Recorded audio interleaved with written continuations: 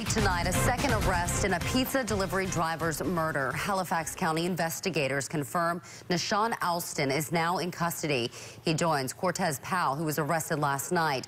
Both men are charged with the murder of 21-year-old James Lee. He was robbed, shot three times, and left for dead earlier this week while out making a delivery. His manager found his body in the front seat of his car.